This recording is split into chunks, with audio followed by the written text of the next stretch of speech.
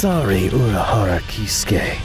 Even you cannot hope to do that. I think that is absolutely debatable.